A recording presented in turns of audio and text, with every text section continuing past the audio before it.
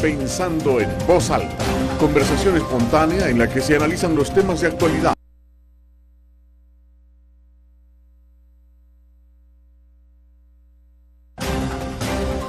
Pensando en voz alta. Conversación espontánea en la que se analizan los temas de actualidad, abordados bajo la perspectiva de Alfredo Mena Lagos. Pensando en voz alta. Buenos días, bienvenidos a Pensando en Voz Alta. Hoy tengo el enorme gusto de tener con nosotros a Ricardo Velázquez Parker. Él es una de las caras frescas y sangre joven de Arena. Eh, creo que es de aquellas personas que ojalá eh, marquen el futuro de nuestro partido eh, y espero también del Salvador. Así que bienvenido, Ricardo. Muchas gracias, don Alfredo. Buenos días. Un saludo con mucho respeto también para los televidentes y agradeciendo la oportunidad de hacer lo que me apasiona, que es discutir ideas. Excelente, pero te voy a pedir permiso de leer un editorial que escribí hace poco con la celebración de los acuerdos de paz, que no ha salido publicado en los periódicos, no voy a decir por qué, pero tal vez es evidente el artículo se titula ¿Cuál paz?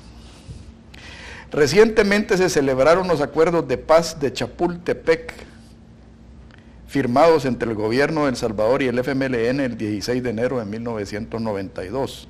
Celebración que a la mayoría de salvadoreños le pareció vacía y hasta irónica.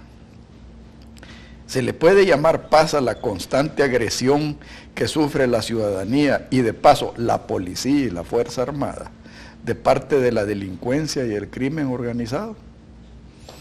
Se le puede llamar paz a la constante agresión que signifique el desempleo y la pobreza producto de la falta de oportunidades que obliga a los salvadoreños de todas las clases sociales a emigrar antes se hablaba de la década perdida.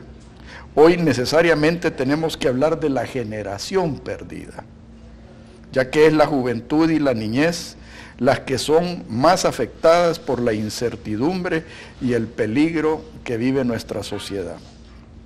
Se le puede llamar paz a la constante agresión que signifique el descalabro de nuestro sistema de salud, producto de la corrupción y la incompetencia hospitales sin medicinas, huelgas, indiferencia, mala práctica.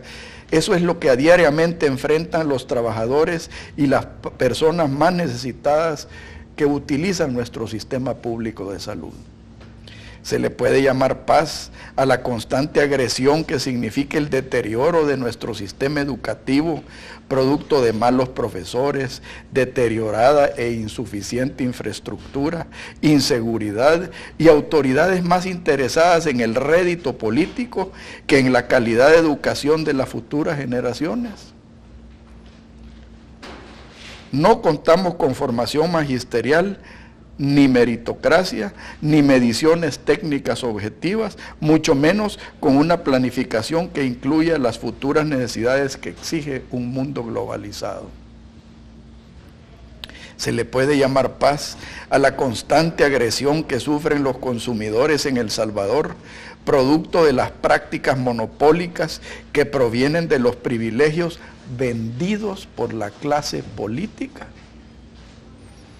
Los salvadoreños nos vemos forzados a pagar los precios más altos en la región centroamericana, empobreciendo a la población y enriqueciendo ilegítimamente a unos pocos.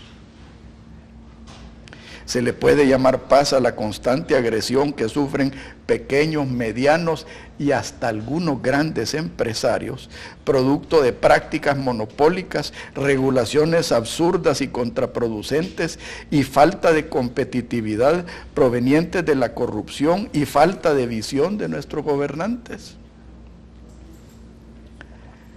¿Cómo se pueden generar más empleos con las tarifas aéreas más altas de la región, materias primas caras como el azúcar y tarifas de energía que no permiten ser competitivos. Se le puede llamar paz a la constante agresión que significa el populismo a través de impuestos, despilfarro, corrupción y el cinismo de la clase política que vive y viaja con toda clase de lujos, con el dinero ajeno, sin importarle las necesidades de las clases más desposeídas. Con aquel dicho que dice que pague el que más tiene, ignoran que el que verdaderamente paga es el más humilde a través del desempleo, carestía de la canasta básica, malos servicios de salud, educación deficiente, falta de seguridad y lo peor de todo, falta de esperanza que esto cambie.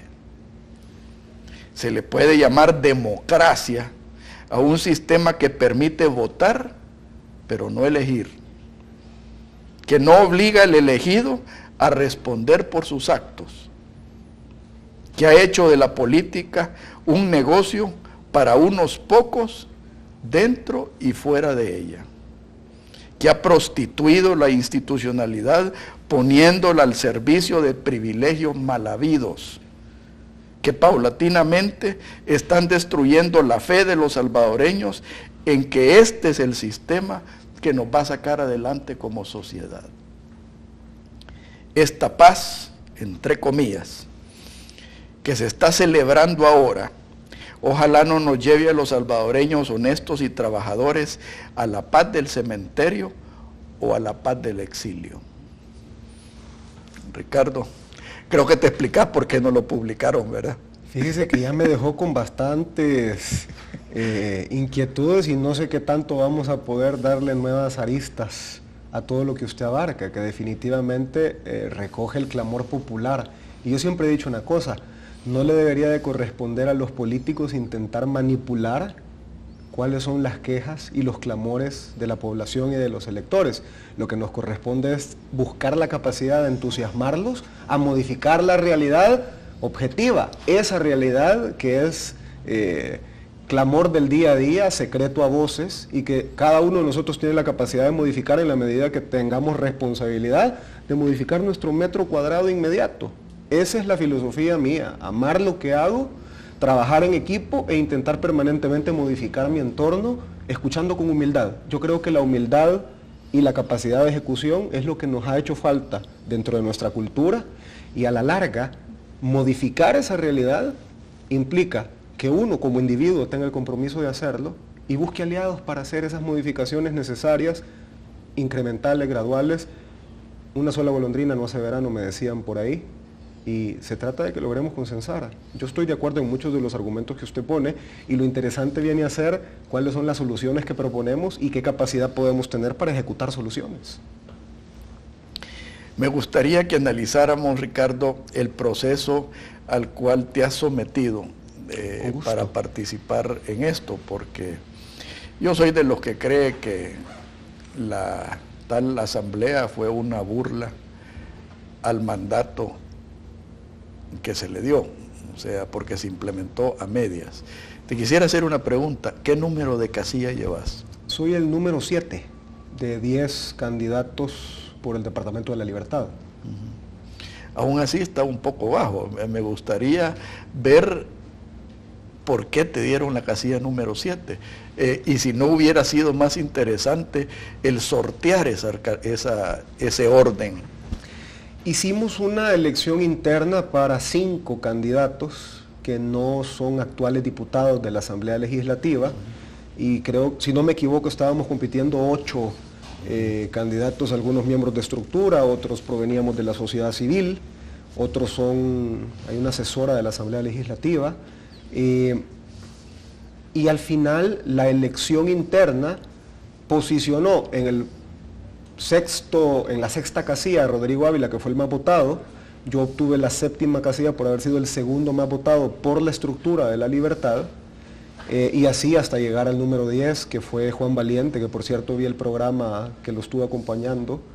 Eh, y esas fueron las posiciones que nos dieron los resultados de la elección interna. El más votado fue Rodrigo, eh, su servidor el segundo y así hasta llegar a la décima posición. Te voy a ser sincero, Qué lástima que no voy a poder votar en la libertad, porque yo voto en San Salvador. Porque ustedes tres, para mí, son de lo mejor que tiene el partido. Muchas gracias. y eso es lo que a mí me hace sentirme optimista en el futuro, pero también resiento el hecho de que los diputados incumbentes no hayan sido sometidos a esa votación, porque estoy más que seguro que algunos de esos diputados incumbentes ya son de la gente que necesita recambio.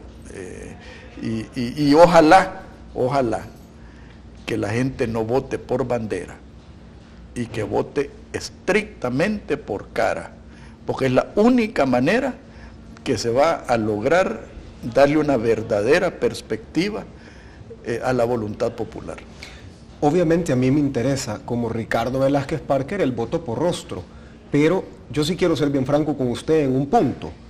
Yo no creo en las cuotas, yo no creo en la entrada por mera novedad. Y si a mí la población me va a elegir nada más porque soy nuevo... pero si entonces somos consecuentes, tampoco crees en la permanencia solo por antigüedad. No creo, yo soy una persona irreverente en materia de antigüedades y en materia de verticalidades. Correcto. A mí me gusta potenciar los méritos, las trayectorias, eh, los perfiles, si hay una adecuación de estos perfiles a las comisiones que se pretenden integrar. Es decir, si vamos a hablar de méritos, competencias, currículums, antecedentes, entonces yo estoy en mi salsa porque competir es estimulante y el talento que, me está acompañando ahorita en la competencia interna, en muchos departamentos eh, entusiasma y en la libertad entusiasma, porque quienes veo en el territorio trabajando los que seis, siete días de la semana algunos, eh, están haciendo mucho con poco, porque seamos francos, ya no son las campañas de antaño que había aquella abundancia de recursos para eh, repartir, regalar, hacer y deshacer en, el territorio, sino que ahora nos está tocando verdaderamente hacer uso de, la creatividad para poder conectar y darnos a conocer, pero esa competitividad es estimulante. Y yo creo que es un proceso perfectible que da un primer paso. Yo no estaría aquí el día de hoy sometiéndome al escrutinio y a la opinión pública si no, hubiera habido la apertura para que dijeran quiénes quieren venir a dejar un currículum quienes quieren pasar por un proceso de entrevistas. El orden de mis entrevistas fue el sector empresarial de Arena, luego fue la Comisión de Enlace de la Libertad, luego fue el COENA y luego fue el presidente del partido. Son casi cuatro y hubieron otras instancias previas porque pasé por el Instituto de Formación Política nutriéndome de los principios, de los objetivos del partido. Y yo pasé de ser un crítico general porque criticaba parejo y le tiraba duro Arena. Recuerdo la última... la dirigencia de Arena. Hay, una posición que me dicen que Arena es, es, una entidad así como muy abstracta, como que no se puede tocar Arena. ¿Arena qué es? Arena es cada uno de los salvadoreños que la conforman y que defienden sus principios y sus objetivos.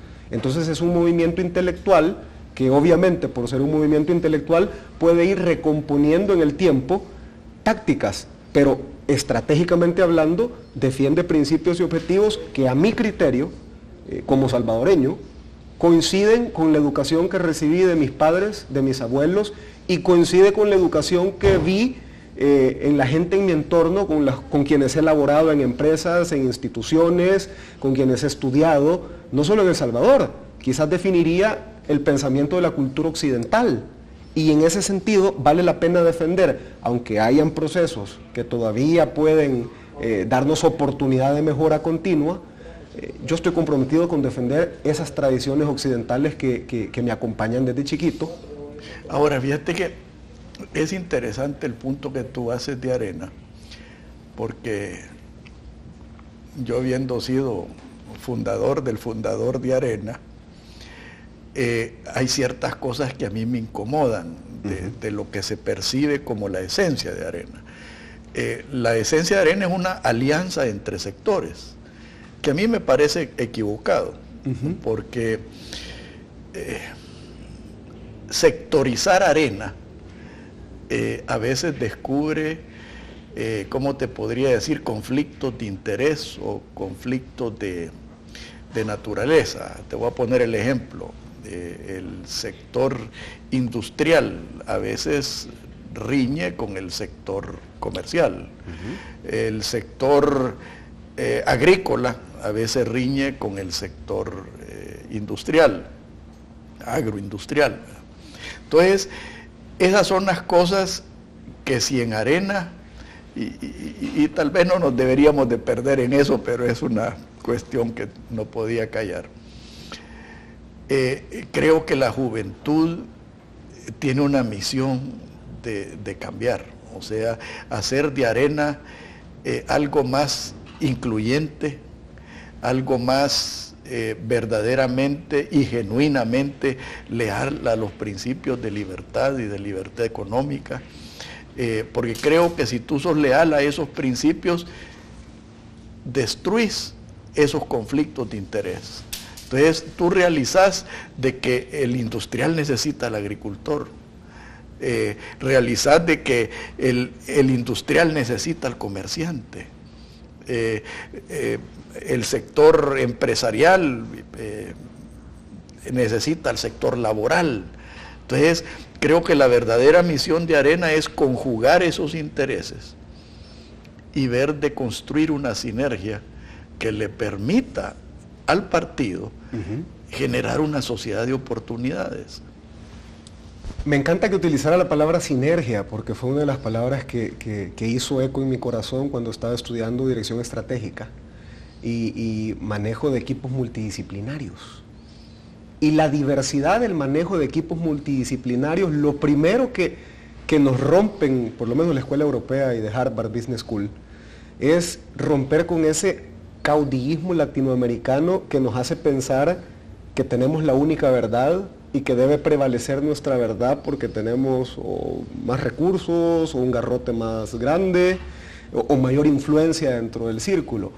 Y entonces en esa diversidad, que por cierto también la recoge el principio 9 de los principios de arena, perdón por la redundancia, nos damos cuenta que todas estas fuerzas entran en un engranaje productivo de sinergia, de intervinculación. Pero al final de cuentas, si lo resumimos a una cifra, a un PIB, que mucha gente dice es que los areneros solo hablan del PIB y de cifras macroeconómicas. El Producto Interno Bruto es la sumatoria de todos los bienes y servicios que se producen en un ejercicio fiscal. ¿Y qué significa eso? Que todos estamos colaborando para llegar a una cifra positiva que nos permita un crecimiento sostenible, competitivo en un mundo globalizado. Y eso no se puede hacer si no trabajamos en equipo. Entonces, la semántica de si alianza o si hermandad, o si intervinculación o sinergia, creo que se diluye más cuando vemos la dinámica económica, la dinámica social interactuando en un mercado saludable, en un mercado que tiene la libertad suficiente con la responsabilidad necesaria para minimizar eh, regulaciones estatales que a veces son contraproducentes.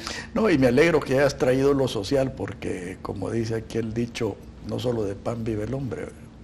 Cuando se habla de sociedad de oportunidades, no solo debe de hablarse de las, de las oportunidades económicas, sino que de la superación personal, de la movilidad social, de la satisfacción personal de las personas. Yo he conocido de las personas más satisfechas, más nobles, eh, en las personas más pobres. Eh, y, y, eso es algo que no se debe de olvidar, ni mucho menos ignorar. Por favor, no nos cambie, ya volvemos.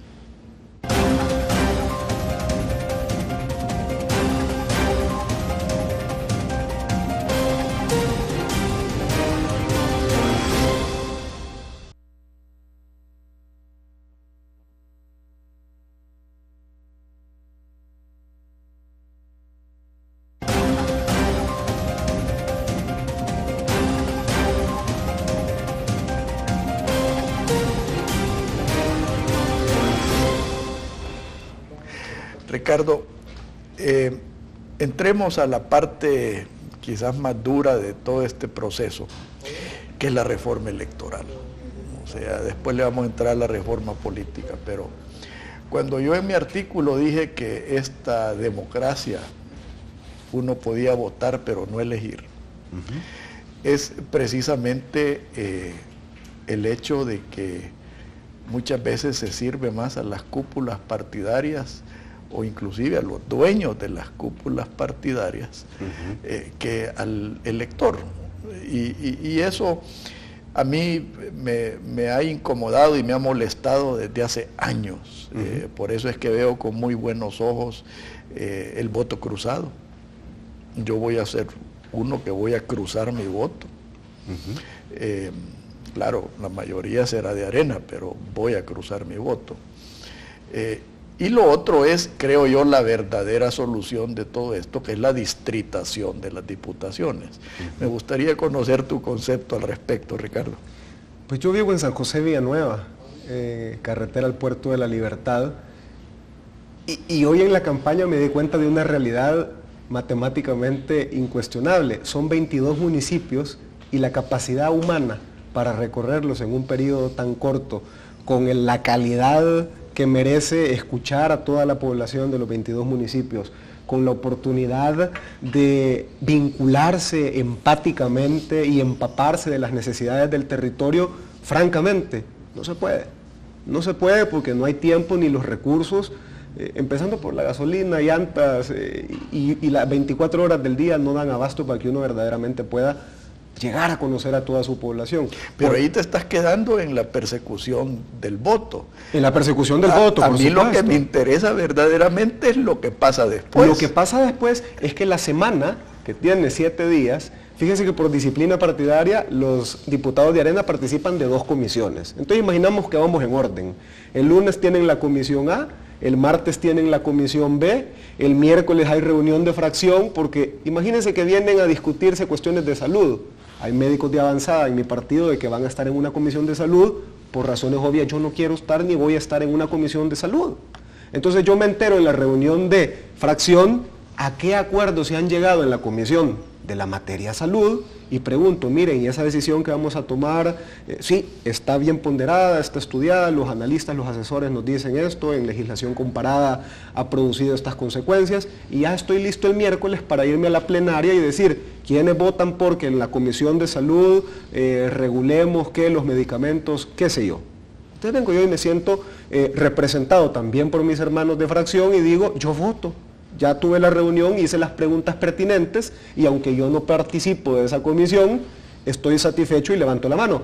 Me queda un día, ya terminó la plenaria, solo me queda un día a la semana en la que yo puedo hacer visita territorial, pero si existe un fraccionamiento distrital, eso me permite, ya no en materia electorera nada más, sino que en empaparme y estar vinculado permanentemente con las necesidades de mi territorio, pero de una forma realista, porque no es lo mismo querer visitar de Jicalapa, Chiltiupán, San Pablo, Tacachico, bajar al puerto de la Libertad, que decir, bueno, me voy a concentrar en la zona centro, Santa Tecla, Colón, por ejemplo.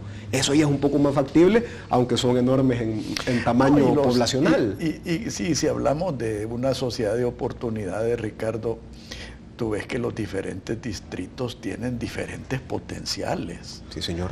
O sea, eh, hay unos que tienen potencial agrícola, otros tienen potencial turístico, otros tienen un, potencial industrial. Entonces, todo eso exige cierta eh, especialización geográfica, y se puede llamar así, por no decir la especialización social y económica. Eh, que haría, de, que haría de nuestro sistema eh, democrático, entre comillas, más eficiente, más eficiente y, más, y que responda más a las necesidades del elector. Yo estoy de acuerdo, yo estoy de acuerdo. Y creo que como le mencionaba anteriormente, estamos dando pasos eh, y estamos siendo pioneros en esa transformación democrática que obviamente todavía requiere mucho esfuerzo y mucho compromiso, pero yo estoy comprometido con esa transformación. Y no solo soy yo, tengo en este momento a mi alrededor talentosos patriotas que están comprometidos y no le tenemos miedo al voto cruzado. No le tenemos miedo a, la competencia. A la competencia, porque venimos de competir. Nosotros venimos de entornos donde hay KPIs, perdón, yo siempre utilizo estas frases, eh, indicadores de cumplimiento. Y el que no da los indicadores de cumplimiento, pues recibe eh, advertencias o es apartado por alguien que sí cumple con sus indicadores. Y como venimos acostumbrados a competir y disfrutamos competir y nos estimula a nivel personal ponernos metas y alcanzar metas y, ir en ese crecimiento continuo de mejora individual, pues ¿por qué no deberíamos de tener la misma actitud y aproximación filosófica de cara al servicio público, a la política, eh, a la función de diputado específicamente hablando? A mí me encantaría que, una de las modificaciones del reglamento interno fueran que midan mi asistencia, que midan el aporte de valor agregado real que hago con mi trabajo en las comisiones, porque el diputado tiene tres áreas en las que se puede lucir o en las que se puede involucrar. Hay diputados, y esto me lo decía uno de mis mentores internos, hay diputados que son buenísimos en plenaria, pero los ves en las comisiones y no estudian los proyectos de ley, no, no tienen mayor eh, vocación de investigación genuina legislativa. Pero hay diputados que los ves en el territorio y tienen un bagaje político y una credibilidad con su población y su territorio eh, fascinante. Entonces, encontrar un diputado que sea completo, es decir, territorial, investigador, que aporta en las comisiones y que a la hora de la plenaria... Retórica. Tiene una retórica, tiene capacidad de concertación, tiene capacidad de influir, tiene capacidad de ir a negociar incluso con... Con, eh, con el adversario. Con el adversario. Y lograr modificar realidades en beneficio de la población, pues estamos ante un talento que la misma población va a saber premiar ya sea con la continuidad o lo va a pedir para un cargo de elección popular todavía más trascendente. Y eso es competir sanamente. Y eso es en lo que yo quiero eh, desempeñarme. Ahora, esto me abre la puerta al, segundo eh, parte que yo quería ver, eh, que es la reforma política, la reforma interna. Yo siento que el accionar de los partidos políticos hasta cierto punto obstaculiza lo que tú estás buscando. Cuando yo estudiaba gestión de innovación, recuerdo que una de las primeras, eh, de los primeros conceptos que me daban era que la innovación puede ser disruptiva o incremental. Y la innovación incremental es donde una realidad va recibiendo bloques, adiciones, mejoras, pero no nos salimos del marco que define el rubro en el que institución. uno o la institución. Es decir, por ejemplo, un cafetalero que siempre se encuentra estudiando las últimas tendencias de eh, cultivo amigable con el medio ambiente y de potenciar a que su gente que participa de la corta, de la siembra, empiece a tener una retribución justa por el trabajo que se realiza y existen ciertos experimentos sobre, sobre materia de caficultura. Pero una innovación disruptiva sería sembrar junto a cada palito de café otro arbolito y entonces tener siembras diversificadas o moverse hacia otro rubro. Y el famoso asocio. Y entonces ya el asocio ya no es, mire, fíjese que usted ya no tiene una finca de café, sino que ahora tiene un hotel que explica a europeos que quieren conocer de la caficultura y usted se convirtió de un agrónomo en un eh, inversionista hotelero. Y eso es una innovación disruptiva.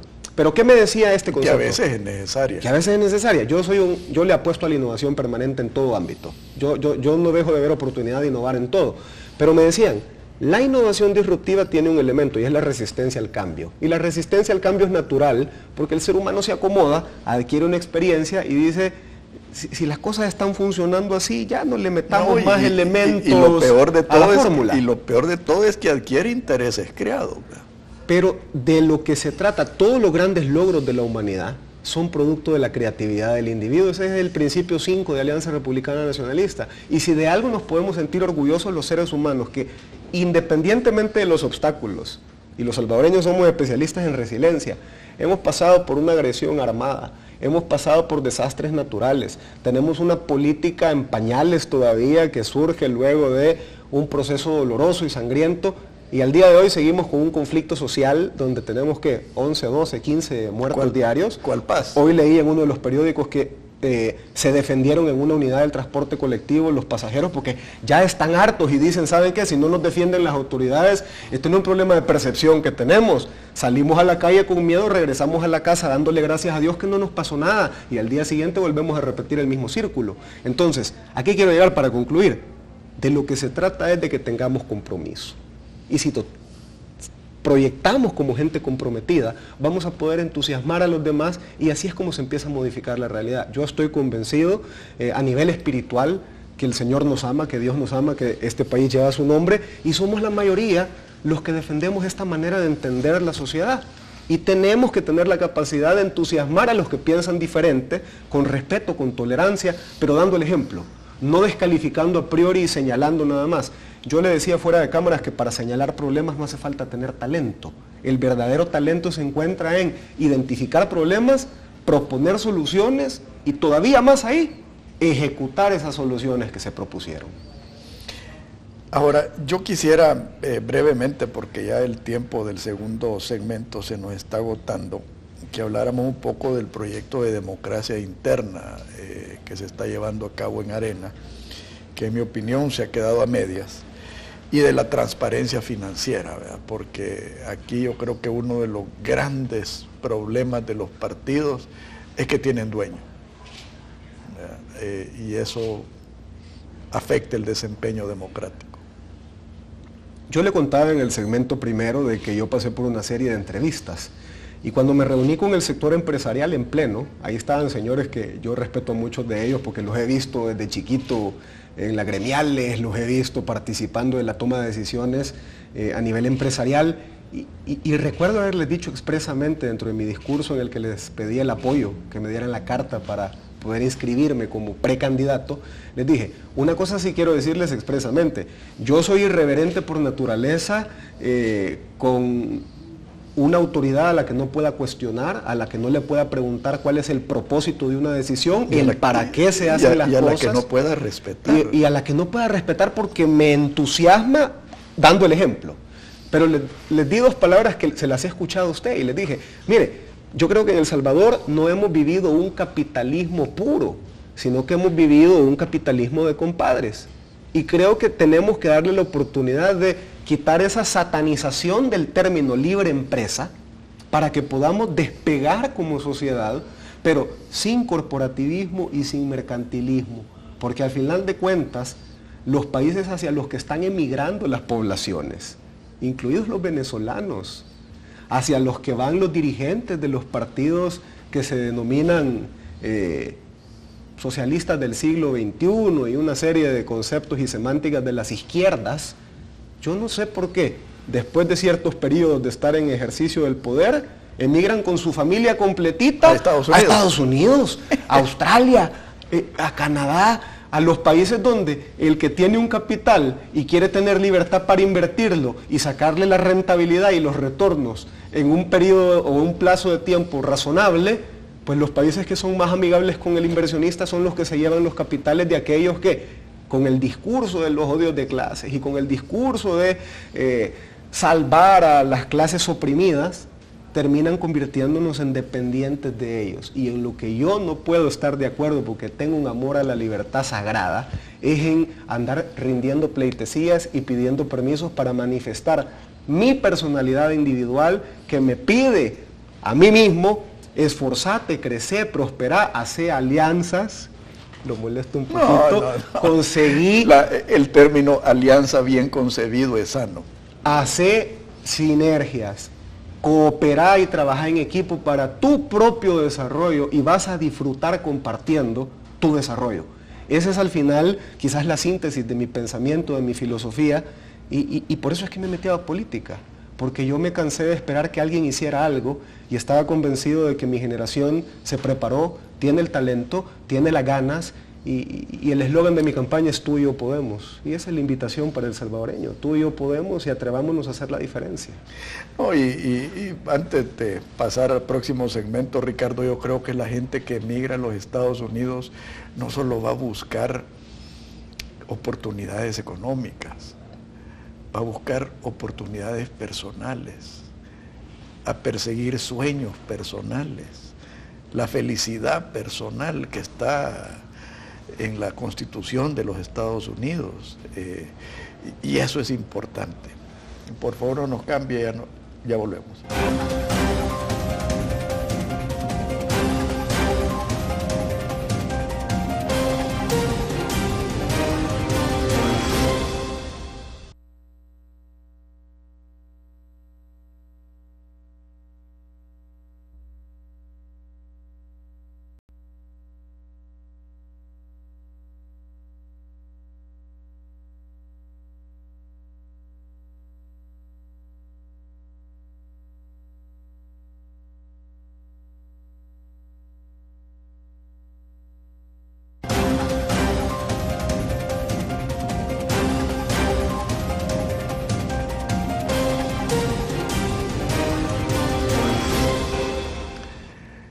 Ricardo, debo confesar que tus palabras son como música para mis oídos, eh, así que eh, yo me siento doblemente agradado y agradecido. Pasemos a los proyectos económicos. Yo siempre he creído que El Salvador debe buscar ser una sociedad de oportunidades, eh, una sociedad donde la prosperidad sea alcanzable eh, a través de la libertad. Una sociedad eh, que busque la competitividad, eh, pero la competitividad sana, no la, competitividad adquirida por privilegio. Entonces, en ese sentido, ¿cuál es tu visión para alcanzar esa competitividad? Históricamente en América, ya Simón Bolívar, desde allá abajo en Sudamérica, pensaba en aquella gran América, aquella gran patria. Y de 1821 a unos años surgimos como una confederación de estados. Tenían la capital en la capitanía de Guatemala. Y, incluso nuestro escudo son los cinco volcancitos. Y la integración centroamericana va apuntando a eso. Juntos hacemos más, juntos podemos eh, representar un mercado mucho más atractivo de cara a esta interconexión de un mundo globalizado. El problema es que a veces por intereses creados de sectores se pierde la oportunidad de convertir a nuestras poblaciones y empoderar a nuestras poblaciones, ya no para que sean manos de obra baratas, sino que para que sean ciudadanos de avanzada, competitivos y productivos, y productivos que colaboren en ese engranaje que yo hablaba al principio, eh, hoy por hoy usted puede tener una idea. Yo me quedo con una palabra de Víctor Hugo. Víctor Hugo decía, el autor de Los Miserables, que por cierto... Que no, son de Aguachapán. No. Víctor Hugo decía que no hay nada tan poderoso como una idea cuyo momento ha llegado. Y esa idea que, es vieja, que es una idea compartida en literatura, los intelectuales americanos han tratado contra viento y marea de, lograr generar esa cultura de integración. Yo creo que estamos en el momento por la tecnología de la intercomunicación y el Internet nos ha abierto la mente de una forma, el acceso que tiene ahora la juventud a toda la información global de toda la historia de la humanidad en la palma de su teléfono inteligente le despierta la curiosidad inherente del ser humano y le permite tener amigos en distintos países y, e involucrarse en proyectos. Esa para mí creo que es la chispa detonante que va a permitir que nuestra población deje de ser mano de obra barata y hoy con el inglés de repente solo para call center. Yo, me pongo los zapatos de una niña que sale de la universidad, obtiene eh, su, su título licenciada, arquitecta, ingeniera, y se tiene que ir a pedir trabajo a un call center dos, tres años porque no hay mercado, porque el mercado es reducido y porque no existen las condiciones para venir a invertir. ¿Cuáles serían esas condiciones para venir a invertir? Si nosotros tenemos una amplitud de mente para ver a nuestras poblaciones como un engranaje productivo con nuestros hermanos centroamericanos. Ahí la responsabilidad para los candidatos del Parlamento Centroamericano es que cambien esa percepción que tiene la población de que ahí no se hace mucho y empecemos a colaborar en equipo, parlamentos eh, per se, eh, población, ciudadanía, alcaldes, eh, gremios, iglesias, universidades, tanques de pensamiento, sociedad civil. Esa es la dinámica del círculo virtuoso que yo no sé por qué les cuesta tanto entenderlos a los que se enquistan en las verticalidades. Es que no es que les cueste, Ricardo, ese es el problema de platicar con gente inteligente, que ya me cubriste la última parte del tercer segmento. No, no, muchas gracias. Pero eh, eh, fíjate que no es que esta gente no puede entender, es que no quiere entender, porque no le conviene entender. Porque tú lo dijiste al principio, los intereses creados. Aquí preferimos ser caciquitos de nuestro pequeño entorno que buscar la grandeza a través de la unión. Y esa es la triste realidad de Centroamérica. Yo, yo, soy, yo como soy un optimista por naturaleza y, Es que si no, no estuviéramos aquí. Y tengo mucha fe y soy perseverante porque me ha tocado desde chiquito remar contracorriente y, y he aprendido ya en mi madurez a disfrutar ese nado contracorriente. He aprendido a disfrutar la oportunidad de superar el obstáculo, aunque no sea popular. Yo, mi compromiso es a no ser políticamente correcto. Mi compromiso es a defender principios y mis valores. Ser políticamente consecuente. Independientemente de las consecuencias que eso me traiga. Porque estoy claro de una cosa, desde el momento que yo levanto una bandera, voy a tener un ejército en el punto contrario que me va a odiar por levantar la bandera o por estar defendiendo el principio que yo digo que defiendo. Me pasaba con un video que sacaba en mis redes sociales, yo digo que soy pro vida y que defiendo la vida de forma no negociable y de inmediato me cayeron una de descalificaciones de arcaico, de... bueno, no quiero entrar a darle argumentos como, como decía Don Quijote, si los perros ladran es que estamos avanzando. Al final de lo que se trata es de que uno tenga la coherencia de decir lo que piensa, hacer lo que dice y mantener esa coherencia en el tiempo. Creo que esa es la diferencia de, de políticos de avanzada que colaboran para generar sociedades de avanzada con leyes de avanzada. Y esa es la apuesta de Alianza Republicana Nacionalista con nuestros perfiles. Yo me siento privilegiado de pertenecer a Arena y, privilegiado de estar en un proceso de devolverle a la población un partido que debe servirle a la población y que debe de servirnos como eh, vehículo. Al final esos son los partidos en El Salvador de acuerdo a nuestra constitución y yo quiero tener el optimismo de pensar de que puedo hacer un agente de cambio positivo, incremental y en algún momento hasta disruptivo. ¿Por qué no? Hablemos del otro, el otro gran problema que nos, a veces nos arresta el crecer como sociedad, es la seguridad. Eh, yo te hablaba que muchas de nuestras leyes, algunas de ellas importadas, eh, de sociedades que no comparten nuestros problemas y nuestras peculiaridades, eh, que nos han venido a en realidad a emproblemar la administración de justicia. Y por otro lado, el suicidio que se cometió en haber eliminado los cuerpos de seguridad. O sea, yo estoy de acuerdo que algunos cuerpos de seguridad eran corruptos, eh, otros eran políticamente eh, involucrados, pero eso era cambiable. O sea, yo soy fiel creyente en la Guardia Nacional. O sea, eh, que quizás ahora en estos momentos tal vez habría que llamarle Guardia Civil, pero si España tiene, bueno, tú has estudiado en España, eh, el rol que la Guardia Civil juega en, España es un, de escuadra. Es, un, es, un rol de respeto, de orden, de, de, democracia, de preservar libertades. Eh, ¿Por qué somos incapaces aquí de generar ese tipo de leyes y ese tipo de, de, mecanismos para proteger la seguridad del ciudadano. ¿Me permite darle algunas cifras para intentar sacar alguna conclusión? Dale viaje. Para el año 2011 había en El Salvador un aproximado de 28.700 miembros de pandillas, en no más de, dos, de 175 clicas a nivel nacional. Para el año actual ya vamos sobre las 60.000 eh, miembros. de pandillas en 1900, le quiero dar el dato exacto, tenemos que 1900, esto lo saqué del dato del Plan País que se elaboró para eh, el candidato Norman Quijano. Para el 2015 ya van 60 mil pandilleros en 1955 clicas. Esto es un incremento de qué? 113% un, incremento porcentual del 113%. Se duplicaron las pandillas, ¿en qué? Tres años.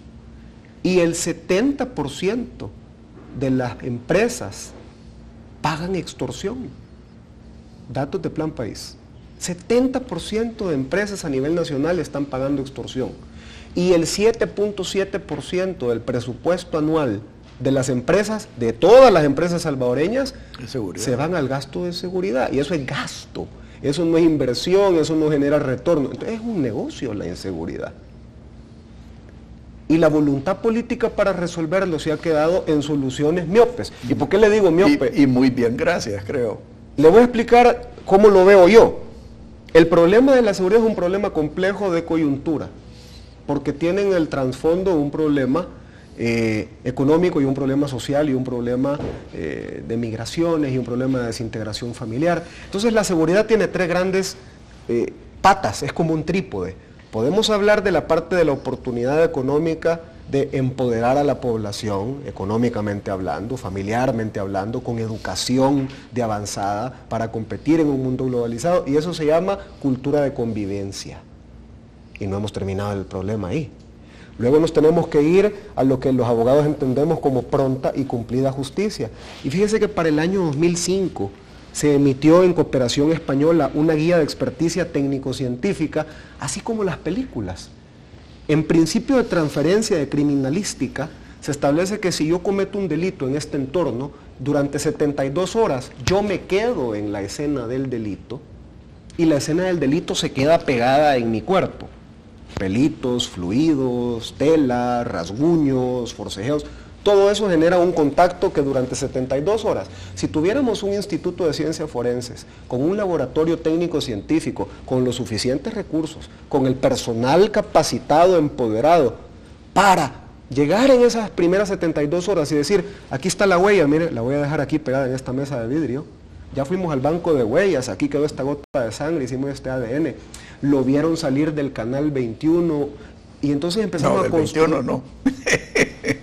empezamos a construir la escena del delito y ¿qué pasa? Pues llega la policía con los investigadores, individualizan quién es el autor y entonces lo mandamos a traer y el juez ya tiene plena prueba y tiene la capacidad de dar pronta y cumplida justicia.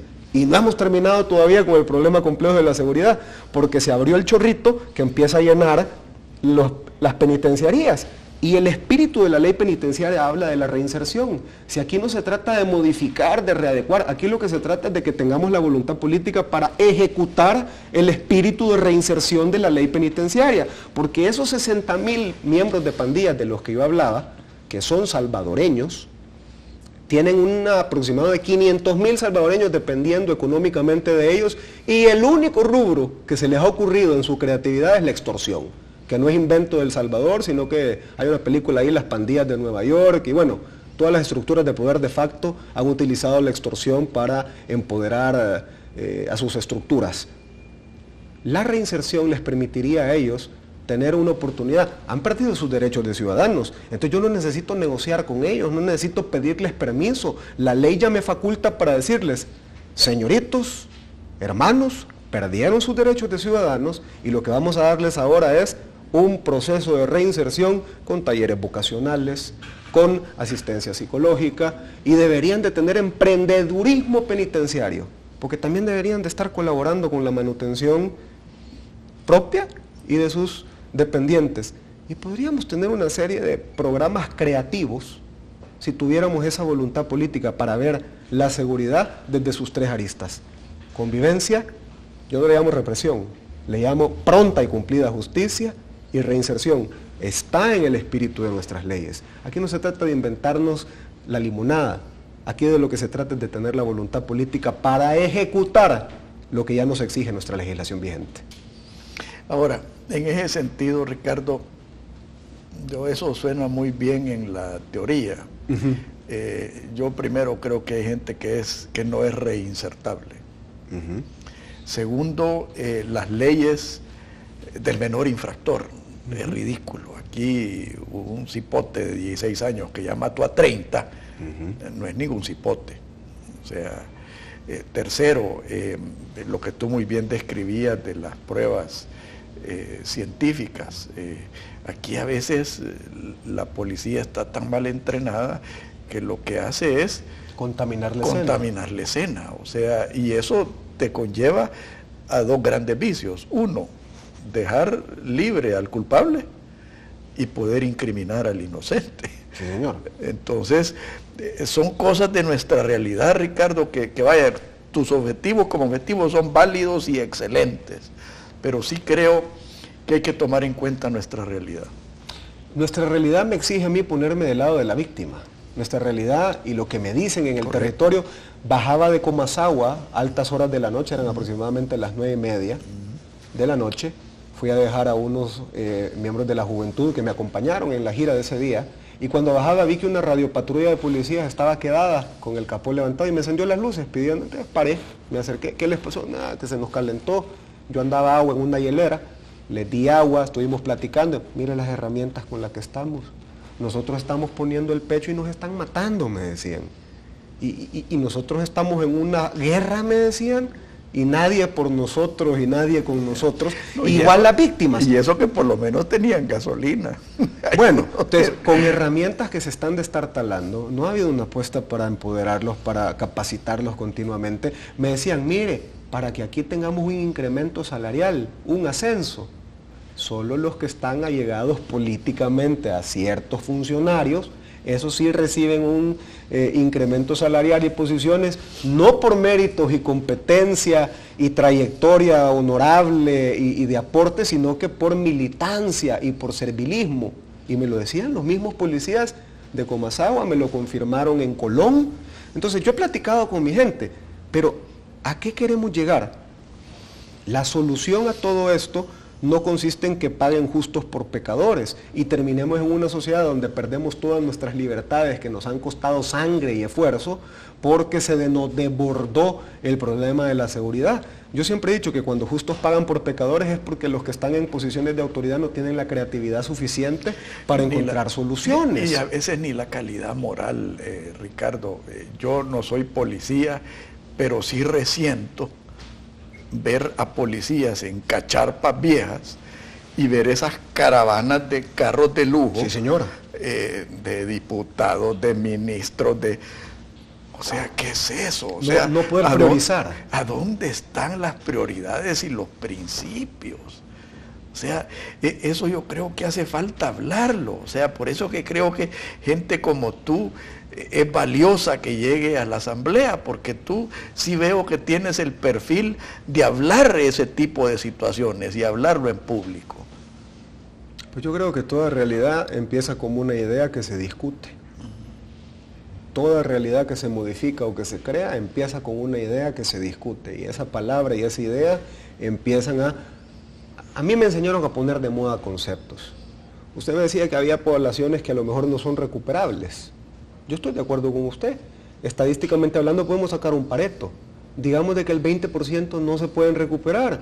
Pues entonces vamos a tener la creación de centros penitenciarios adecuados para ese 20% de la población penitenciaria que no es recuperable, pero el otro 80% hagamos el análisis de perfil gradual de cuáles pueden ser reos en fase de confianza, a los que se les puede dar la oportunidad no de ir a pedir trabajo después de que salieron, Démosle las herramientas para que se conviertan en emprendedores. Si yo estoy hablando en mi plataforma legislativa de que desde la educación quiero potenciar el emprendedurismo y quiero potenciar una cultura de que el individuo empiece a colaborar en su entorno, el que está en un entorno penitenciario no debe de ser ajeno a esa cultura. En la medida que esa cultura se vuelve una realidad, creo que nos vamos a ir acercando al sueño y al ideal que teníamos eh, históricamente los salvadoreños y que yo no estoy de, acuerdo y dispuesto a renunciar porque tengo que hacer mi mayor esfuerzo para ser un agente de cambio. Muchas gracias Ricardo. Yo creo que he salido de este programa con más entusiasmo y esperanza de, con que entré. Eh, yo lástima que no voy a poder votar por ti, pero créeme que voy a hacer todo lo posible porque gente como tú llegue a la asamblea. Yo le agradezco mucho el espacio, Alfredo. Siempre que empiezo un, programa le pido a mi Señor Jesús, habla tú por mí y, que te sirva de un instrumento y creo que es la disciplina de vida espiritual que me ha permitido entusiasmar a la gente. Pues yo creo que Jesús habló muy bien. Eh, y, de casualidad, el domingo pasado eh, fui a, a misa con mi hijo y el sermón que dio, la homilía que dio el Padre, fue tan bonita que antes de que me diera comunión lo felicité. Primera vez que lo hago, no sé si será incorrecto, pero lo felicité porque sinceramente él, él habló de la diferencia entre la autoridad y el poder. Y aquí desafortunadamente la mayoría de políticos busca el poder, no busca generar la autoridad, que incluye la autoridad moral. Yo creo que estamos llamados a ser luz y sal de la tierra y tú y yo podemos ser luz y sal de la tierra. Esa es la síntesis. Gracias, Ricardo. A usted, don Alfredo. Que Dios los bendiga a todos. Muy buenos días. Esto fue Pensando en Voz Alta, conversación espontánea en la que se analizan los temas de actualidad, abordados bajo la perspectiva de Alfredo Mena Lagos.